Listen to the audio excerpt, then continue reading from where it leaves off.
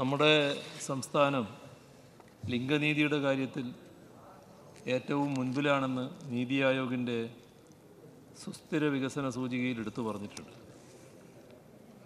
പലവിധ കാരണങ്ങളാൽ അനവധി പരാധീനതകൾ നേരിട്ടിരുന്ന നമ്മുടെ സ്ത്രീ സമൂഹത്തെ ശാക്തീകരണത്തിന്റെ പാതയിലേക്ക് നയിക്കാൻ സർക്കാരും ബഹുജന പ്രസ്ഥാനങ്ങളും സന്നദ്ധ സംഘടനകളും വലിയ പങ്കാണ് വഹിച്ചിട്ടുള്ളത്. രാജ്യത്തിനാകെ മാതൃകയായി തദ്ദേശഭരണ സ്ഥാപനങ്ങളിൽ അൻപത് ശതമാനം സീറ്റുകൾ വനിതകൾക്കായി ഉറപ്പുവരുത്തിയ സംസ്ഥാനമാണ് കേരളം. കുറഞ്ഞ മാതൃമരണ നിരക്ക് ഉയർന്ന ലിംഗാനുപാതം സ്ത്രീകളുടെ ഉയർന്ന ജീവിതദൈർഘ്യം എന്നീ സൂചികകളിലെല്ലാം കേരളം ദേശീയ ശരാശരിയേക്കാൾ മുന്നിലാണ്. വിദ്യാഭ്യാസ രംഗത്ത് കേരളത്തിലെ പെൺകുട്ടികളുടെ പ്രാതിനിധ്യം ശ്രദ്ധേയമാണ്. ഹൈ ഹൈസ്കൂൾ തലം വരെ പെൺകുട്ടികളുടെ പ്രവേശന നിരക്ക് നാൽപ്പത്തെട്ട് ശതമാനമാണ്. ഹയർ സെക്കൻഡറി തലത്തിൽ അൻപത്തി ഒന്ന് ദശാംശം എട്ട് രണ്ട് ശതമാനവും. ആർട്സ് ആൻഡ് സയൻസ് കോളേജുകളിലെ ബിരുദ കോഴ്സുകളിൽ പ്രവേശനം നേടുന്നവരുടെ അറുപത്തിനാല് ദശാംശം ആറ് ശതമാനവും. ബിരുദാനന്തര കോഴ്സുകളിൽ പ്രവേശനം നേടുന്നവരുടെ അറുപത്തിനാല് ദശാംശം എട്ട് ഒൻപത് ശതമാനവുമാണ്. തൊഴിലധിഷ്ഠിത ഇത് പ്രാധാന്യമുള്ള കാര്യമാണ് പറയുന്നത്. നിങ്ങളും പ്ലീസ് പ്ലീസ് തൊഴിലധിഷ്ഠിത തൊഴിലധിഷ്ഠിത കോഴ്സുകളായ നേഴ്സിംഗ് ലാബ് ടെക്നീഷ്യൻ എന്നീ കോഴ്സുകളിലെ പെൺകുട്ടികളുടെ പ്രാതിനിധ്യം എൺപത്തൊന്ന് ദശാംശം മൂന്ന് അഞ്ച് ശതമാനമാണ്. എഞ്ചിനീയറിംഗ് പോളിടെക്നിക് മേഖലയിൽ മാത്രമാണ് പെൺകുട്ടികളുടെ പ്രാതിനിധ്യം കുറഞ്ഞു നിൽക്കുന്നത്.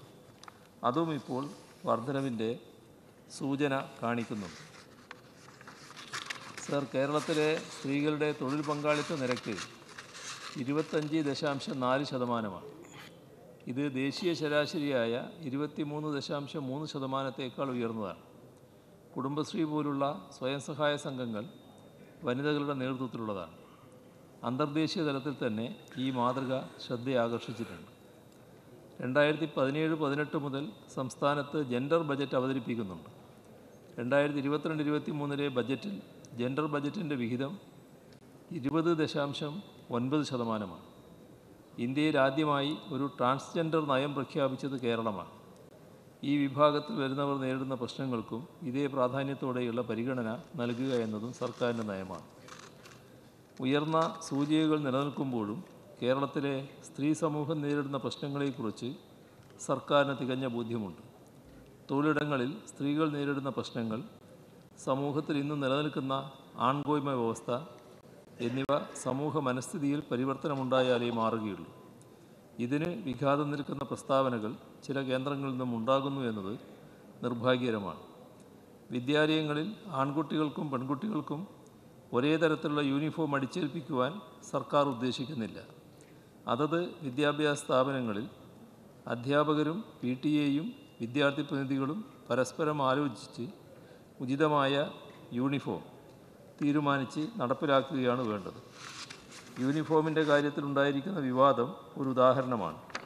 ഒരു തരം വേഷവിധാനവും ആരുടെ മേലും അടിച്ചേൽപ്പിക്കുന്നത് ഈ സർക്കാരിന്റെ നയമല്ല.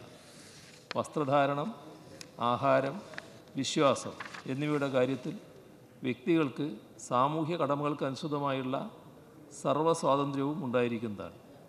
ഒരു തരത്തിലുള്ള തീവ്ര നിലപാടുകളും മേൽപ്പറഞ്ഞവയെ ഹനിക്കാൻ പാടില്ല എന്ന് സർക്കാരിന് നിർബന്ധമുണ്ട്. ഇപ്പോൾ തെറ്റായൊരു പ്രചരണം നടക്കുന്നതുകൊണ്ട് ഒന്നുകൂടി ആവർത്തിച്ച് ഞാൻ വ്യക്തമാക്കുകയാണ്. ഓരോ വിദ്യാലയത്തിലും അവിടുത്തെ യൂണിഫോം എങ്ങനെ വേണമെന്ന് ആ വിദ്യാലയ തലത്തിലാണ് തീരുമാനിക്കുന്നത്. അക്കാര്യത്തിൽ സർക്കാർ പൊതുവായ ഒരു നിർദ്ദേശവും പുറപ്പെടുവിച്ചിട്ടില്ല. അങ്ങനെ നിർദ്ദേശം പുറപ്പെടുവിക്കാൻ ഉദ്ദേശിക്കുന്നുമില്ല.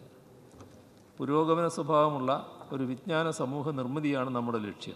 അതിന് ശാസ്ത്ര അവബോധം അനിവാര്യമാണ്.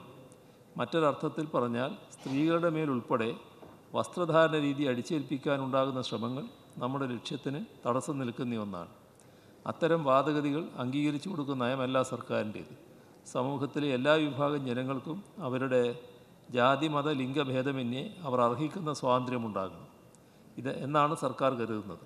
ഇതിന് സഹായകരമായ ഒരു അന്തരീക്ഷം സൃഷ്ടിക്കാനാണ് നമ്മൾ ഏവരും മുൻകൈ എടുക്കേണ്ടത് സർക്കാരിന്റെ എല്ലാ പിന്തുണയും ഇതിനുണ്ടായിരിക്കുന്നതാണ്. നമ്മുടെ സമൂഹത്തിൽ സ്ത്രീ സമൂഹത്തിന് തുല്യതാബോധം എന്ന ലക്ഷ്യത്തോടെ നവോത്ഥാന പ്രസ്ഥാനങ്ങൾ പ്രവർത്തിച്ചിരുന്നു. ഈ ലക്ഷ്യത്തിന് ഘടകവിരുദ്ധമായി അടുത്ത കാലത്ത് കാണുന്ന ചില പ്രവണതകൾ തീർത്തും നിരുത്സാഹപ്പെടുത്തേണ്ടവയാണ്.